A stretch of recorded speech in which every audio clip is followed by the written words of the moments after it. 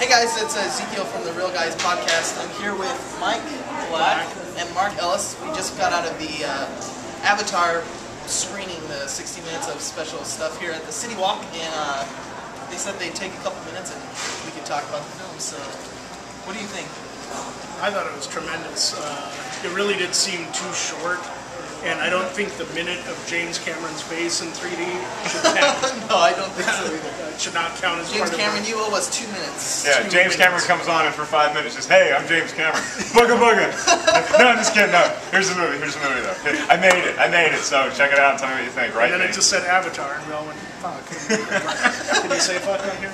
Absolutely, it's the internet. You can say Already did you twice, so. it's it's such a like a, a weird looking world. It's so cool to see and to be there for 16 minutes. It's kind of like getting dropped off in Hawaii with a beautiful model for 16 minutes. They're like, all right, and go. Time to come And back. you're like, uh, I, it's like when you're at a strip club. I paid for five songs, uh, so And 16 minutes is normally more than I need, but in this case, I really wanted more.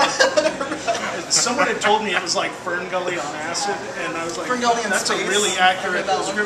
I was thinking it's probably what's going to happen when Balco opens up a lab in Ferngully. this is what Sting is going to look like when he when he's in the rainforest and he's pumping the roids. You know he'll be first in line for this for oh yeah, process. yeah, he's going to love. I'd like to be a 12 foot tall Smurf, please. Where do I go? Excuse me, sir, but you cannot bring your guitar into Avatar. We get it, you're Sting.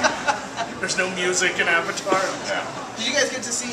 This is the first time, besides the trailer, that you guys have seen the footage. I know they screened Right. stuff at uh, Comic Con. I didn't get to see all that stuff. So this is literally the first time, besides the trailer, that you've seen it I knew. Yeah. Ja- here's what I knew. I knew that James Cameron, in between deep sea expeditions to the Titanic to find Rose's copper bracelet or whatever the hell he's looking for, Heart he was making a movie called Avatar. That, that's what I know. Other than that, the only thing I know about Avatar is what I learned from Magic the Gathering. hey, ladies, What I'm did you learn single. from, from Magic? what exactly did you learn about avatars from Magic? I learned how to eat at the Olive Garden alone and be proud. Yeah, I, I honestly at first thought it was about the cartoon Avatar. Right. And I was like, why is James Cameron working on that? And they they the actually bald Wind Master kid. Fox actually told him told M Night Shyamalan that he couldn't use the Avatar title because they were making a better film. Yeah, yeah. I So hope they had to take some I hope that's how they worded it. Then. Um, Listen, we're James making a much better working on this. film. Uh, listen, no. Uh, I mean, if you were doing this right after The Sixth Sense, yes. But we just saw the lady in the water, and you're not allowed to use big words in your anymore. You get the, a, and deer. Those are your words. Do what you will with them, We've scary got boy. Avatar. We've Yeah. Which is why he's doing the A Deer trilogy now. M Night Shyamalan's A Deer. A deer, comma the. There's a twist ending somewhere. So you guys go see it when it comes out. Oh, absolutely. They offered us. Uh, they said uh, you can come see the midnight showing of it when it comes out. It's August 21st, and they're offering us tickets for the December 18th at midnight show already. So. and I'm gonna do it. But but what I loved was that they also offered us. Uh, they said, you know, playing tonight, the ugly truth. So make sure. Let's listen- go, guys. That's the exact right demographic. we got them. they really spoke to us. That's right. And it's, it's going to be weird to look at a bunch of avatars in 3D and then go see Katherine Heigl. And, you oh, know. Oh yeah, just the amount of so people in the audience that were like, Katherine Heigl, motherfucker! As soon as he said that, I that thought was it was. better than the clips. That will probably be a sold out show tonight. yeah. I love how sad the line is going to be for the for the, the line for that you're going to be in. The, uh, Yeah. the- hi, it's August 21st. and I'd like to buy uh, one ticket for December 18th, please. which is like saying I don't have any confidence in myself to get a date in the next four Yeah, months. that gives me four months to shape up and really get my shit together. I'm not even buying it. I could return it when I got there and say, no, it didn't work out in the four Yeah. month period. I but like I you- already know. I'm just, no, just one. I like you buying two tickets to Avatar on December 18th, and uh, like at a bar somewhere in October, you're gonna meet a girl and you're gonna be talking to her, and you're gonna be That's looking in what your wallet, and you're gonna be like, she's not worth it. Not the one. But what are you doing December 18th? I, I have yeah. no idea what I'm doing December 18th. Um, but yeah, but overall, I am. Uh, I'm, I'm pretty excited to see it. It was unlike anything that you know I had seen before, and uh, I hate wearing 3D glasses. Yep. But I'll do it for this movie. I'll do it for you, Jim. It's good to have you back, above water, where you belong. T2, damn it. You don't have gills.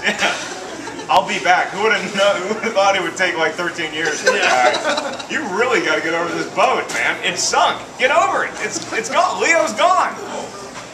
Excellent. Please don't let anyone else take over the franchise after this one.